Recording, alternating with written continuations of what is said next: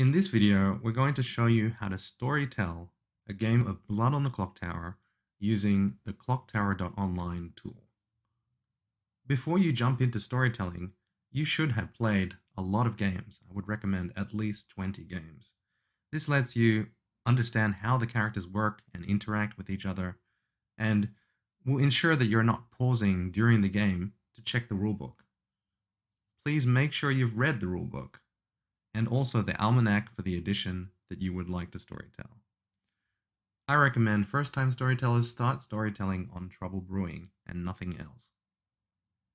This video will not be going into how to be the best storyteller, it's just going to focus on the tool and how to use it.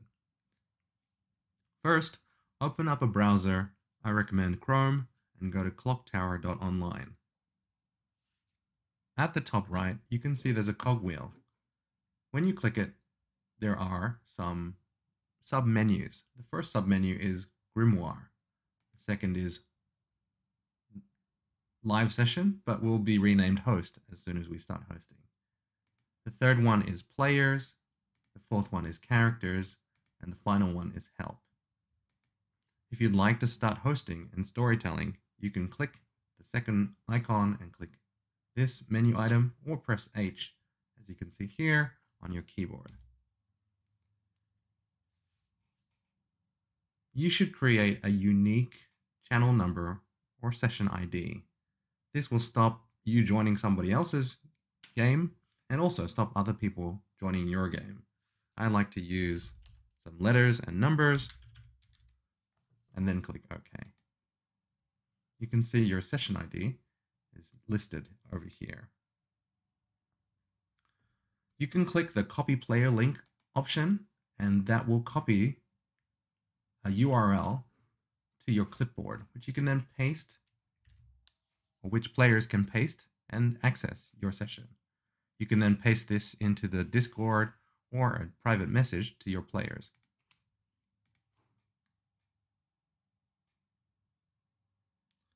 Now it's time to add some players. You can use the players menu and click add each time or press A on your keyboard for your players. I've just added 12 players with very unoriginal names. If you've accidentally spelt a player's name wrong, you can click on their name and choose the rename option. Then you'll want to choose the edition. The default edition is Trouble Brewing. You can click on the characters menu and click on and select edition or press E on your keyboard. The base three sets are here, Trouble Brewing, Bad Moon Rising, and Sects and Violets. You can also choose Laissez un Faire or load a custom script. So click custom script and you can choose one of the popular custom scripts or you can upload your own JSON script. To make your own script, just click on the script tool link and have fun creating your own custom script. You can then download the JSON file and upload it into this tool. To go back, just click the back button. Now it's time to choose and assign some characters. Click on the characters menu and click on choose and assign or press C on your keyboard. For a random selection of characters, you can click on shuffle characters.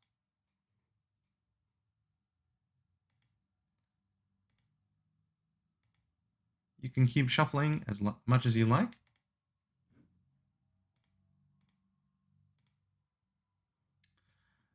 This is a good example of where the tool isn't perfect in its selection.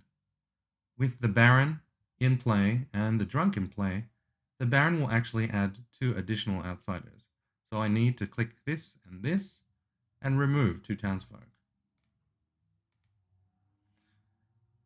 Also, I don't want to show anybody the drunk token, so I'll keep that in the back of my mind. Choose a character that I want to be drunk. And then I'm ready to assign these characters.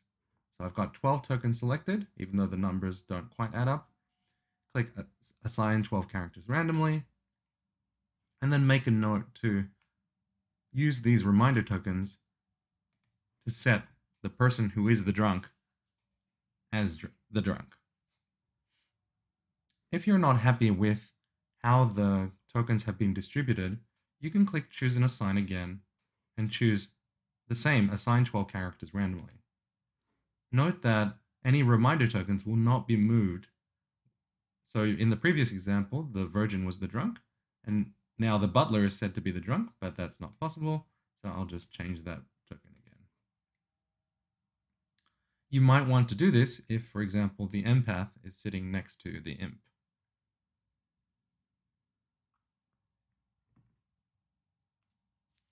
Another thing you need to do before you start the game is choose some demon bluffs. So for example, uh, you have this section here, and when you click one of these tokens, it will only show you tokens that are available to be bluffs based on the assigned tokens already. So I might give Mayor, Ravenkeeper, and Slayer as bluffs for the imp. Let's make another setup. Here is an example setup. And let's pretend that this is the these are the characters that I'd like to use this game. Before you start the game, you should also add some reminder tokens to make it easier for yourself. So, for example, some of these players uh, have starting information. so the investigator, if you hover over this token, it shows you the investigator starts knowing one of two players is a particular minion. So let's show the poisoner. I'm adding a reminder token here. It's the poisoner, and the decoy can be the fortune teller, for example. The fortune teller, each night they choose two players and they learn if either is the demon. There is one good player that registers falsely to you. So let's just make the saint uh, the decoy. The washerwoman starts knowing one of two players is a particular townsfolk. So we'll let the monk be seen as the townsfolk and the scarlet woman be seen as the decoy. The librarian starts knowing one of two players is a particular outsider. So let's show the recluse as the outsider and we'll show the imp as the decoy. The chef starts knowing how many pairs of evil players there are, and in this setup, everybody is separated, including the recluse, who could register as the as a minion or demon. So I'm just going to add a custom reminder token of a zero, chef zero. Now this information is the base starting information, but that's before the game begins. So as soon as we go to night one, the poisoner might decide to poison um, one of these characters. So for example, they might poison the washerwoman. I'll add the reminder token here, and now I need to change the washerwoman info. Since I decide that it should be false, actually, let's point to, to townsfolk. Let's just go decoy, decoy, and better. Let's say that uh, the slayer is actually washerwoman sees them as the mayor. If you need to remove a reminder token, just hover over it and click once.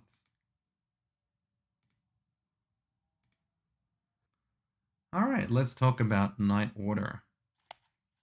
For the first night, you may, might want to press the N key. Under the help menu, you can see night order sheet or press N on your keyboard. And on the left is the night order for the first night. You should follow this very you should follow this uh, very strictly and then follow the order for the other nights.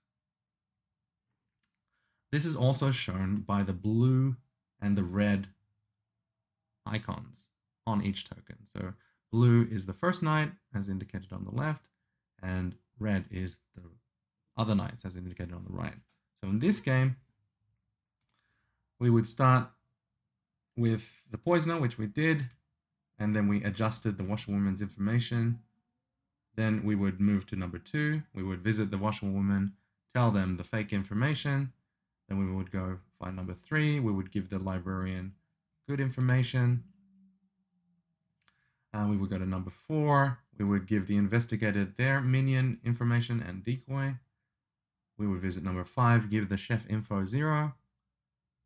And then we would go to number six and ask them to pick two people and give them a result based on whether they pick the demon, the recluse, or the red herring. As soon as you've run out of blue numbers, then you can bring everybody back to the town square uh, and start the game with day one. At the end of the day, everybody will be gathered back to the town square and you will tell them that nominations are now open. Once a player has verbally said who they would like to nominate, you just click the player's name and then click point the finger to the person they are nominating. So for example, it's likely that maybe player 6 decides to nominate uh, player 2. You can adjust the time of the votes. So this is an example of a three second countdown. You will note that it is very, it's painfully slow. If you want it to be slow, that's fine. But if you realize that you haven't adjusted the time from three seconds, you can click reset to reset the count and then adjust that time down to something more reasonable like two or even one second. Before you click countdown, you should mention the number of votes required. So that's the majority as highlighted here. It's the majority of the alive players. Another thing you should check before you start the countdown is to make sure that your players are in their seats. In this example, only player 1 is sitting down, and you can tell that because there is a chair icon to the left of player 1's token. Every player needs to be seated in order to put their hand up to vote. In this example, six people have voted However, uh, player 13 was dead when they voted. So it's important, especially towards the end of the game, to remove any ghost votes that have been spent. Remember, players, once they're dead, only get one ghost vote available for the rest of the game. So to remove that ghost vote, just click the little tick to the right of their icon to remove that. That way they won't be able to vote for the rest of the game. You might want to leave the vote result visible for a couple of seconds just for everybody to capture that and then you can click close. Another new feature is that you can click the hosting menu and click nomination history.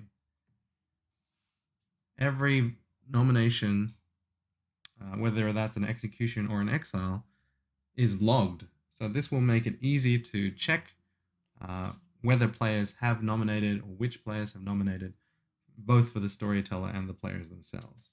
Once you've given the players enough chances to nominate, vote, the storyteller will need to make a decision on which player is going to be executed. To kill a player, just hover over their token at the top until you see the shroud and then left click once. That player is now dead. You can see the number of alive players goes down and ghost votes are shown here. If you've accidentally re removed the ghost vote when they didn't actually vote, you can just resurrect the player and kill them again, and they will they will gain their ghost vote. At the end of the day, it's now time for everybody to go to sleep. Another new feature is you can click the grimoire and click switch to night. Switching to night gives a visual indication that it is now nighttime. At nighttime, once again, you will follow the nighttime order. You can press N for the nighttime sheet. Now we're looking at the other night order, so we're going to be following that. In this example, the poisoner is dead. The monk chooses who to protect. The Scarlet Woman doesn't do anything because the imp is still alive. The imp chooses to kill a player and we are out of red numbers. The fortune teller unfortunately died somehow. Um, so then we'll bring it back to daytime. We will kill the person who died in the night and re remove any redundant reminder tokens. In this example, we have Travis, the bureaucrat, who is a, a good traveler. So I'll just make him good like this. Now, travelers can, some travelers, like the bureaucrat or the thief, can affect the voting. So the thief will make a player's vote count negatively, and the bureaucrat will make one person's vote count as three votes. So, for example, if the washerwoman has been given the three vote power, when you're running a nomination, you should verbally count the votes as they go around. So let's say librarian nominates the chef. So in this example, when the clock hand passed, we would say one, two, three, and then jump the count to six so that it's clear to the players who has the extra votes or the negative votes. Also note that travelers don't affect the ratio of players. So you'll note that seven townsfolk, two outsiders, two minions, one demon, and one traveler. Uh, that doesn't affect the ratio. So it's a purple traveler. Let's talk about moving players. In this example, let's say that the traveler is run out of time and they're deciding to leave the game. I would not recommend using the remove um, player because that's going to affect everybody's grimoire on their end. All their reminder tokens and their actual tokens will be go mismatched. So it's probably best to just kill that player and remove their vote if they're left for the game and just leave them in the circle rather than actually removing them completely. Some other things you can do with moving players is swapping their seats or moving them in the position on the circle. So for example, if person one needs to move, you can move them like so. And you can see one has been slotted in there. And let's just move them back. If you need two players to swap, you can just choose this, swap with that person, and you can see they've swapped out now.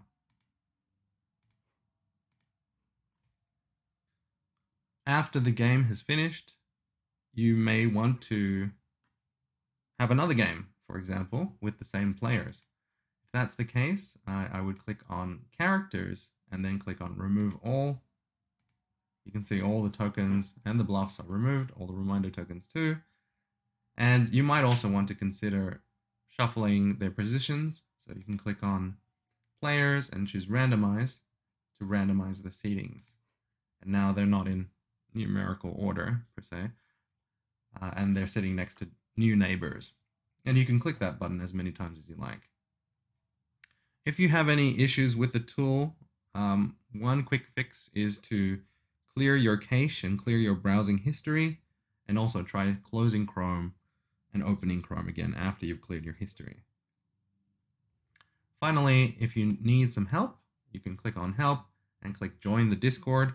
This will take you to the unofficial Blood on the Clocktower Discord server. And I would recommend checking out the storytelling channel, as well as signing up for one of the storyteller Baron Ted's roundtables.